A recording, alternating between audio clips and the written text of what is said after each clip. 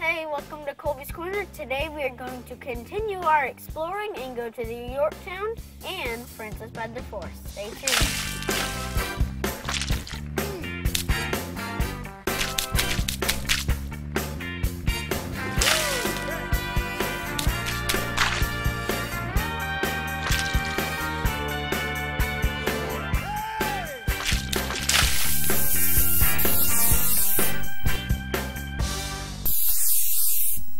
This is called the CIC. You know what CIC stands for? No, sir. It's the Combat Information Center. This is the brains of the carrier right here. This is where everything took place. They would check radar, they would have a chart here. This was before computers. And they would mark all where the aircraft was on here, and you'd have a guy that was directing different operations on the ship, whether it was stuff going on on the flight deck or or it was um, uh, checking the radar for other ships in the area and all of that. And it, you had this place was full of people, and we have a few uh, mannequins here to kind of give you an idea. But if you can think about it, this whole room would be just full of people. You notice the lights are red Yeah. when they were under uh, when they were, they would leave the lights red because uh, if they walked up on the flight deck, it would be easier for their eyes to get adjusted in the dark. That's what those red lights are for. Yeah, it does seem dark in here. Yeah, it sure does. This is the steering wheel. You can look How at. could you see that though? You didn't have to. You see, there was there was people. There was instruments here that would show you what direction the ship was going, how fast it was going. Uh, Can I spin it? yeah, you can spin it.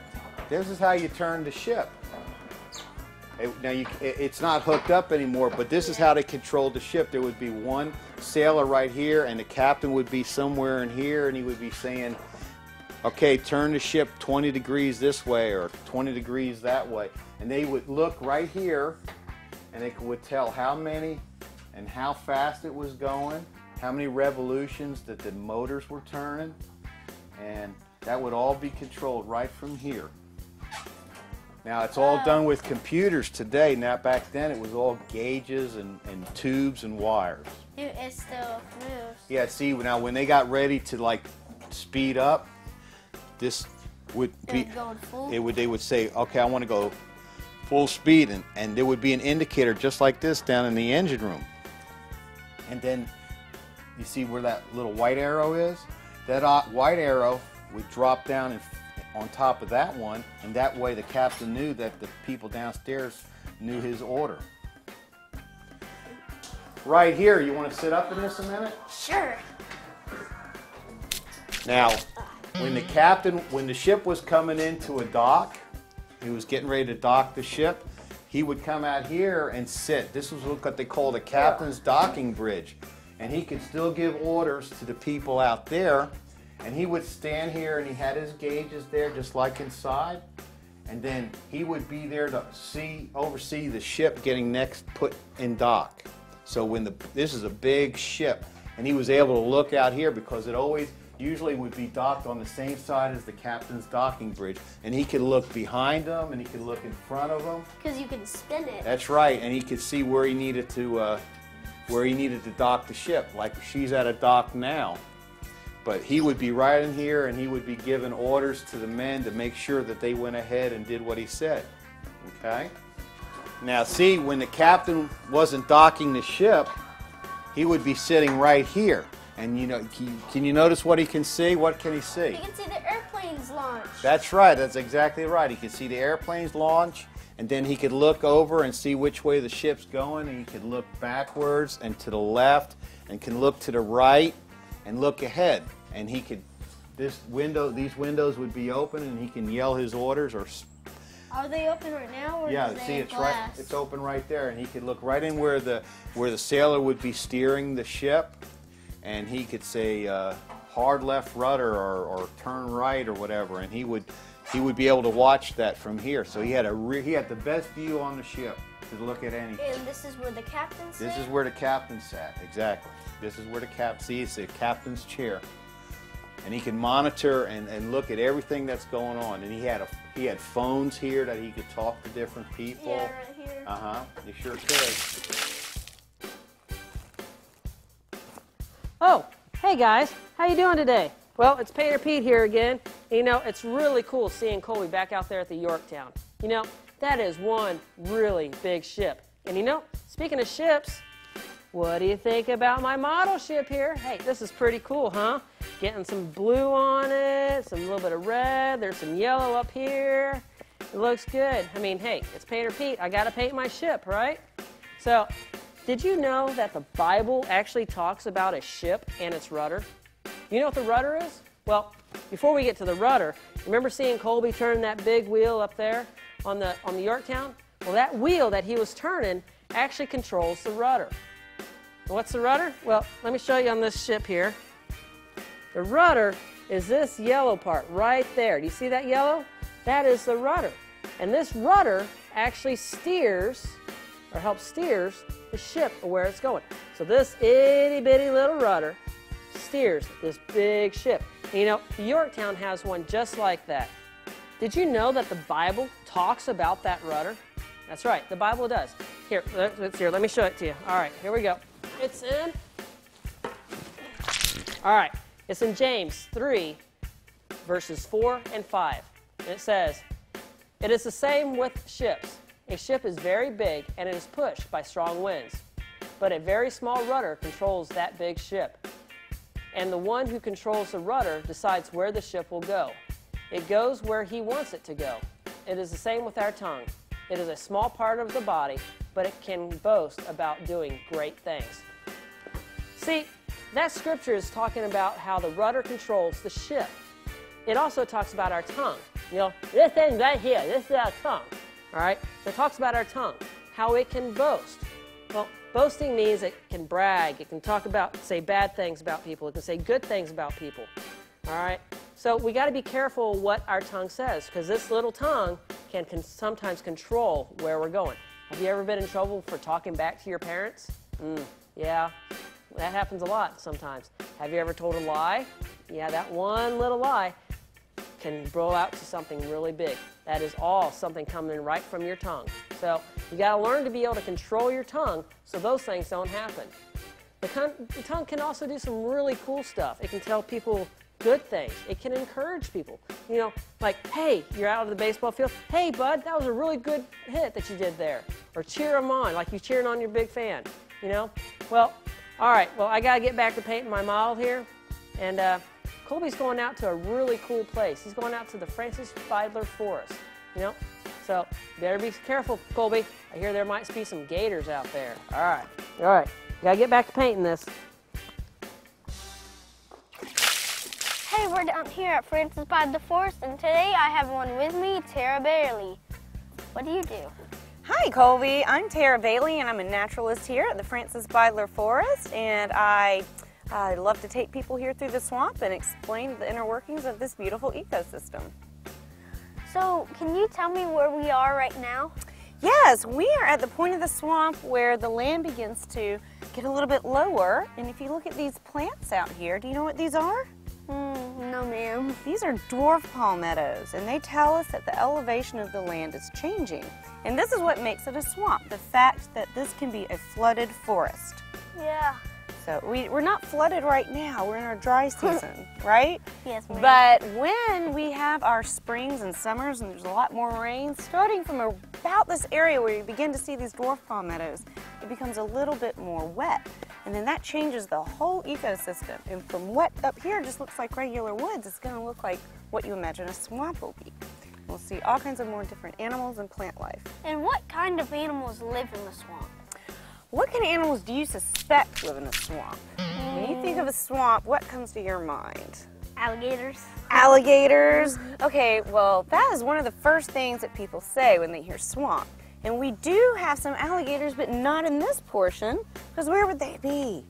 There's nowhere yeah, for them no to place go. to hide. Right, but we have a lake at the end of this boardwalk, and it's been called a lake because there's enough depth in that water for an alligator to make good habitat. So it's deep, and he can hide, and he can swim, and he can look for food and get away from other animals. And so we do have an alligator there, but it's not out here in the swamp area where people can walk around. What are, like, I know these are called cypress knees, but what are they really for?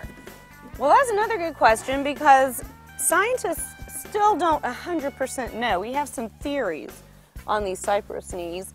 Uh, one theory is that it exchanges gases with the air, which of course feeds the tree. And what, what theory do you believe that's true? well, th- another theory is that it stabilizes these cypress That's trees. what I thought is. Yes, during an event like a hurricane or even just a really harsh storm. And look at all these knees out in the Mm-hmm. land. Well, and the trees that you're primarily looking at right now are tupelo trees, but Isn't we that have a- cypress. That's a tupelo tree. They Oh. both have these buttress bottoms, and so they look very similar. But this is a blackwater cypress tupelo swamp. So we have lots of cypress trees and lots of tupelo trees out here. Yeah. I'll show you a cypress tree. Cypress trees, Oh, see the bark of these like- tupelo trees? They go to like. Look at this. Look at this bark right here. Cypress trees are more smooth and they're more cylindrical and they're. Aren't they wider? Yeah. Well, yes, they are. They're the dominant Like species of tree out here. Well, let's go up here and look at one. Oh. Listen to this tree. Oh, Sounds hollow. It's hollow on the inside. The way you can you can tell with the vibration when you hit it. How do you think it remains alive if it's hollow? I'm not sure. Well, there is a substance inside these trees, a tissue called cambium. And when trees are young, it's more solid. So if you were to chop a tree in half when it's young, it would be nice and thick and solid on the inside, right? Yes, ma'am. But as a tree ages, the cambium thins out, it spreads out.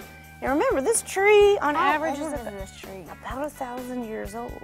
And so it's pretty old, so this the layer of cambium beneath this bark is very thin, but it is still alive. As long as it's connected to the root system and is still alive, this tree can continue living. How have you ever like a fallen tree, like uh, like one that fell but you could still see its uh, trunk? The inside, no, the trunk.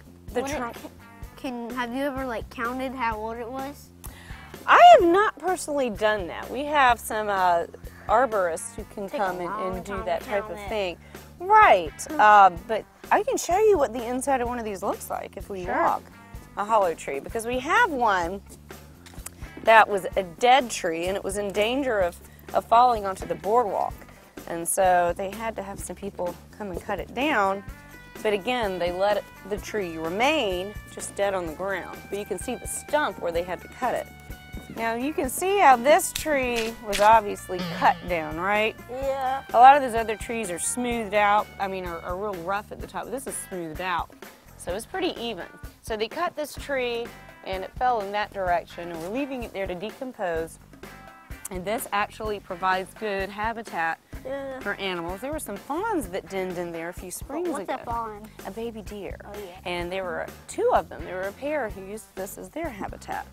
But this is what uh, a hollow tree looks like if you're to cut one down. See how this cambium, this is dead cambium. Nice, live, healthy cambium would be that nice, pretty orange color.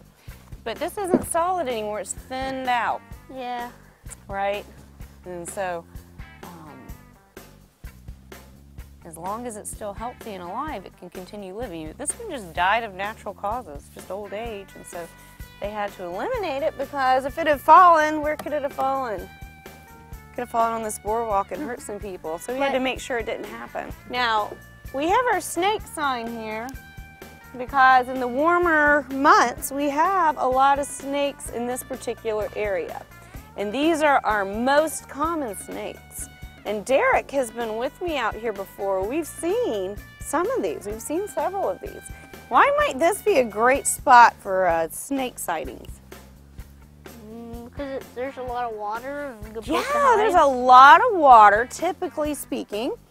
There is water, and notice these are a lot of water snakes here. Yeah. Okay, the, the rat snake is not a water snake, but they can swim. And the cottonmouth obviously can swim. And these other water snakes, they're, they swim under the water. And when they swim under the water, they're doing that to get away from predators or to go from spot to spot undetected. And, you know, oftentimes like the brown water snake, it eats lots of fish. But the cottonmouth, it typically eats Like all kinds of prey. Is the only been in this one. Right, the cottonmouth will swim on top of the water as opposed to underneath Yeah. the water. It's not trying to hide so can much. see that one, so you though. can see them.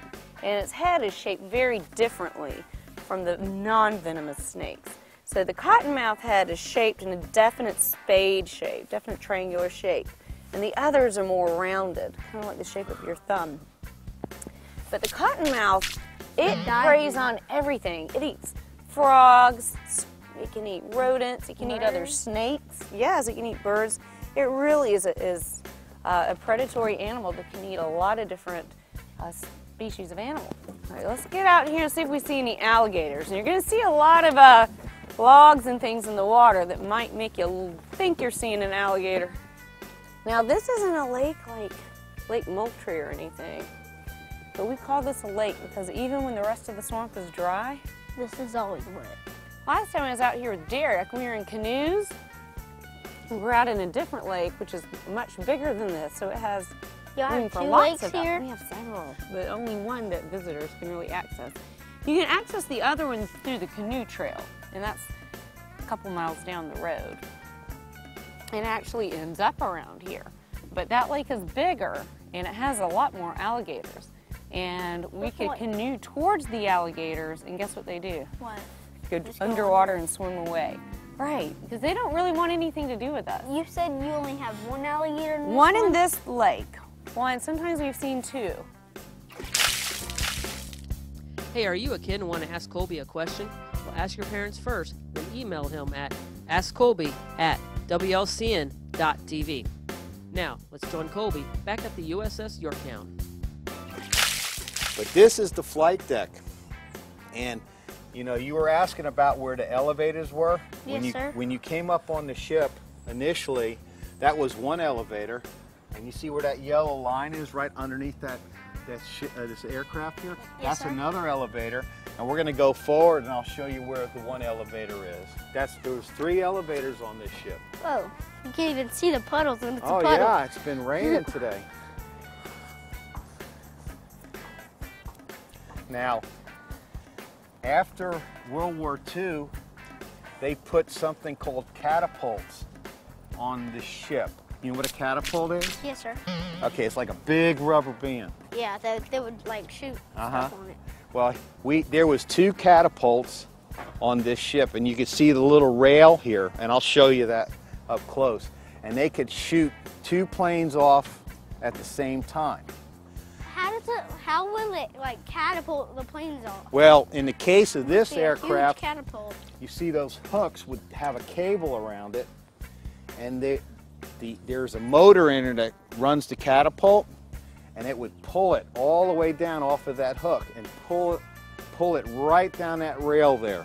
Oh. and the jet that- engine would be running, and then it would just pull it right on down there, and then it would they would just fly off. I was thinking of catapult like you would it would you would pull it back Uh-huh. and you would put something in there and you would fire. Uh, there's different ways to describe catapults, but this was the one that they used for the jet. So this wire would hook up on a hook here behind that wheel, and this little piece here would go in between this tire, and it would push the aircraft right off the off the flight deck. So this would move or the plane would move. This would move, it would move the plane. It would go right under here and it would hook up under this little device here and the plane would go right down the catapult. This right here is that, that other elevator I Right was here? telling you about right here. And so when a plane was finished flying and would, they would roll it up here or roll it over there and this would all drop. This is a huge elevator. Yeah, and then it would go back into the hangar, the hangar bay. Now this is the front of the ship.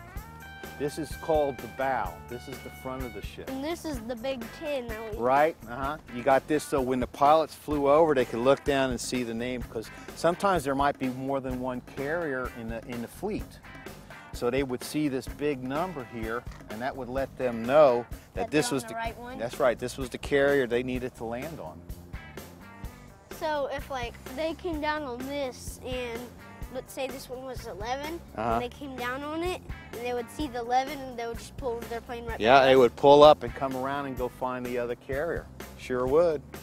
And what is this one right here? Like what is that like it looks like What? a mouth. What is Oh, that's the for? air intake. Jets require a lot of air. So what happens is when they start the engine, air gets sucked into this. And then it hits that engine and it makes the turbine in the engine spin. And then they push fuel into that turbine. And as it spins faster and faster, it mixes with the air, and that's what makes the flame come out of the back. mm-hmm And all jets have something like this An air intake. Yep, they all have it. Now you see all the aircraft here on the Yorktown. Just imagine having 90 aircraft up here. Look how crowded it would be. Okay, this is called a 5-inch 38. There was four of them on this ship. And it was it's 38 feet long and it had a 5-inch barrel on it. And This it would is be 38 about feet. 38 long this way.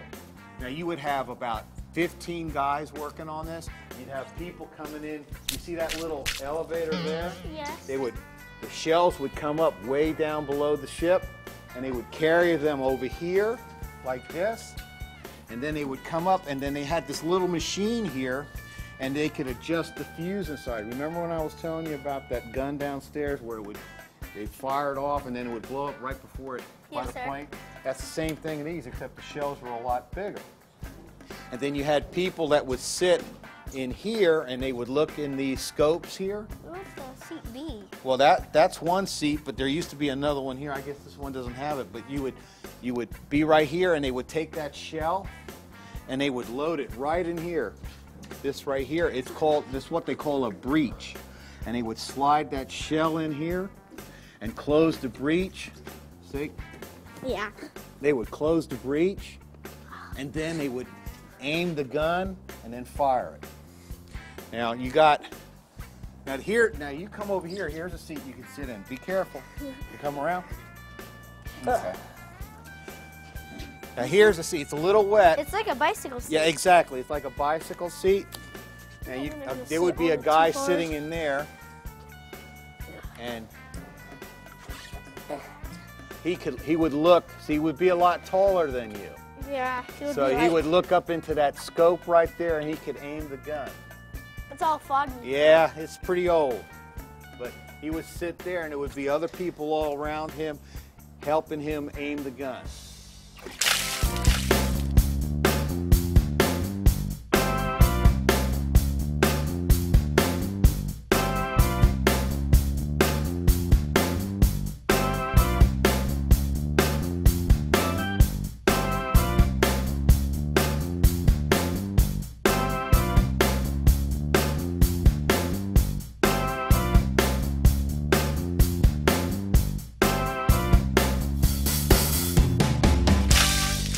Jake is a greenish rat snake. Do you see the colors? Yeah. There's stripes there. He's a pretty guy. Yeah, it is pretty. And how's he feel? Touch it. Make sure you stroke. He's Stroke her this way because her scales go in this direction. If you brush the other direction, It's like a pretty dog's hair. uncomfortable. Right. Like a dog. And she's used to being handled by people, so that's Mm-hmm. why she's pretty comfortable in this situation. But judging from her name, what can you tell me about her? Greenish rat snake. What does she Uh, like to eat? Rats. Yeah, she'll eat rats and rodents. But she's so small. How does she eat them? Well, she can unhi- unhinge her jaw, and what she does is she's a constrictor. What does a constrictor mean? It, she squeezes her prey Yeah. to kill it before she eats it, and then she swallows it whole. And I've seen her do it, but it's not. It's not like us just taking one bite. She kind of Yeah. has to work it in, and she kind of does her mouth like this to get to get the mouths in.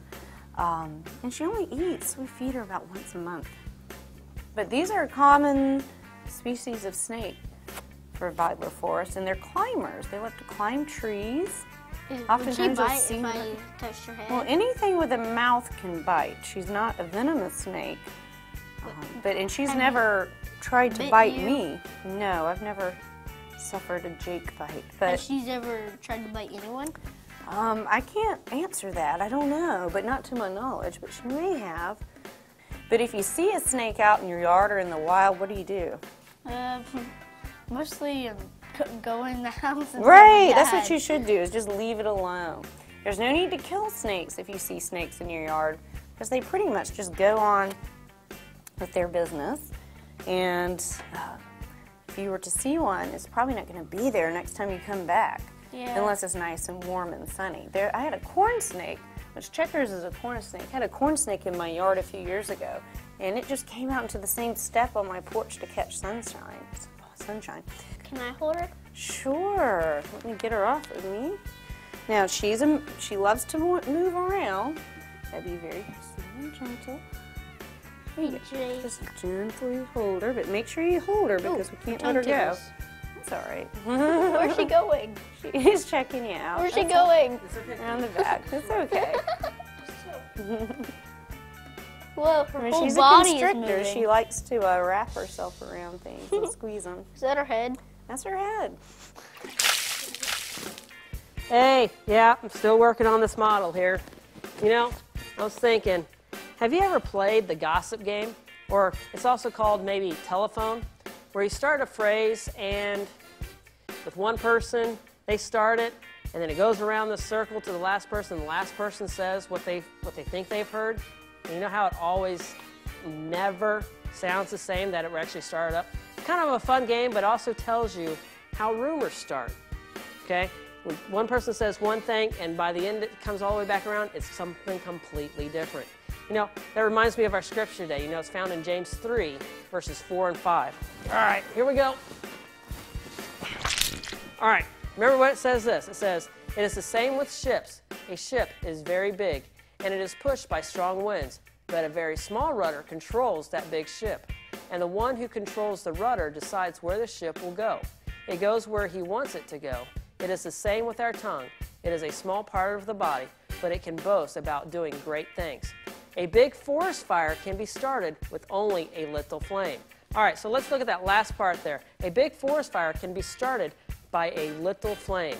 You know, when we tell stories or gossip about people, our tongue or words can damage or injure that person, just like fire can ruin a forest or like the swamp that Colby was out to today. You know, that little spark can start that huge forest fire, just like this little tongue right there can start a lot of rumors and hurt a lot of different people. You know, so let's take this time right now and say, you know what? I'm not going to talk bad about people. I'm not going to gossip about people. And you know what? Let's use our tongue to take care of other people, just like we need to take the time to explore our world. You know, well, I hope you guys have enjoyed today being out with Colby, going to the U.S. Yorktown, going to Francis the Forest. He's had a lot of fun doing a lot of exploring around this area. You know, I also want you to remember, don't forget to email us at askcolby at WLCN.tv. And remember, before you email us or get onto our Facebook page, you need to ask your parents' permission first. Go to our Facebook page at facebook.com backslash Colby's Corner. Well, we've had a lot of fun today with Colby, and we've gone to some really cool places. So, but this is Painter Pete here, and I got to get back to painting my model. So I will see you next time right here on Colby's Corner.